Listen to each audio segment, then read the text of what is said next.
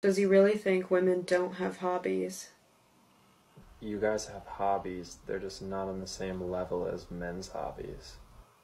Men try to revolutionize the world with their hobbies, like tech, crypto, podcasts.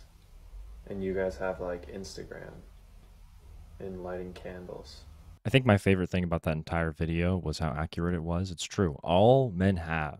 We don't have anything else besides crypto and podcasts. If you take that away from a man, there's an old ancient Chinese proverb that goes, if you take away podcasting and crypto from a man, he's left with nothing. And if you take away candles and Instagram and astrology from a woman, she is then left with nothing.